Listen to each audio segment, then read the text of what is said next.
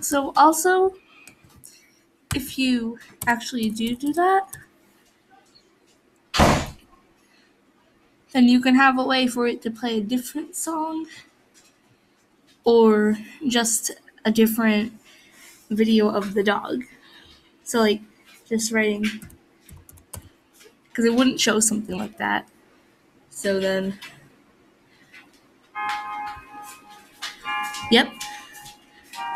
You can also just click this multiple times.